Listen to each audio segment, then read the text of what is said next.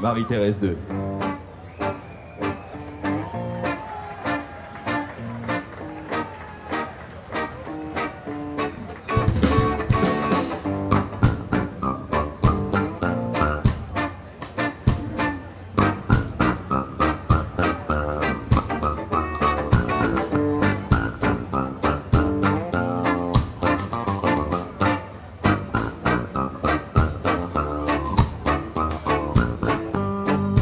Son opulente chevelure tombe jusqu'à la cambrure, magnifique de ses reins, et subjugue les marins qui ne voient pas sa fêlure, qui ne voient pas ses ébrues, ni la force des vérins du commerce utérin.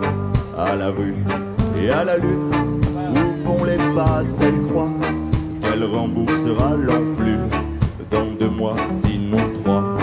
Elle court après les coupures, malgré sa plaie qui suppure.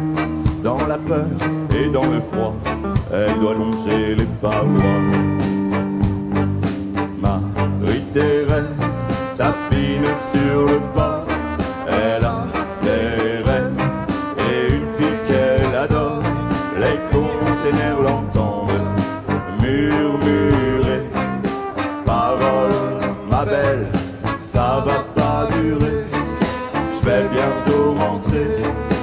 vais bientôt rentrer.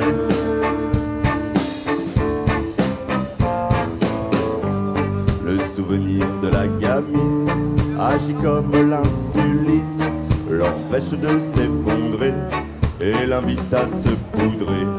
Faut pas que l'autre fulmine, celui qui roule en berline.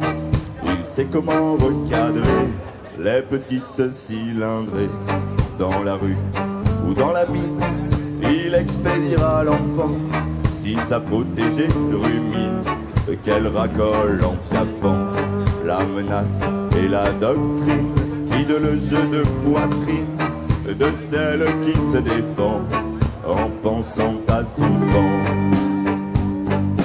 Marie-Thérèse tapine sur le pas. Elle a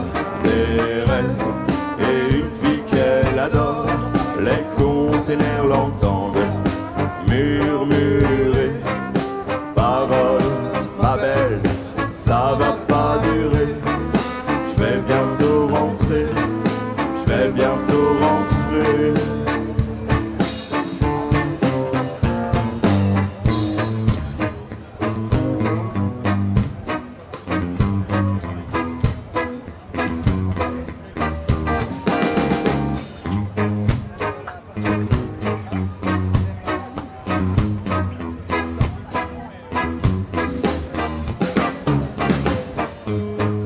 Un jour contre quelques thunes, un homme demanda à la brune d'étaler dans un canal les à côté de son âge.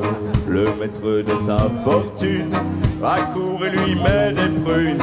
Dans la soirée, ce connard la saignera au poignard.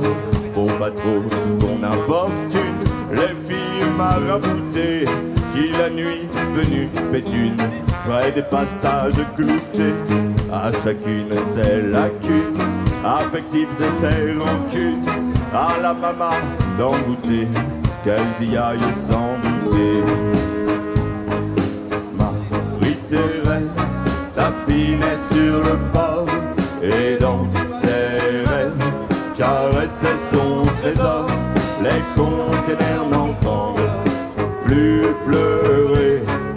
Parole, la belle n'a pas même effleuré le bonheur français, le bonheur français.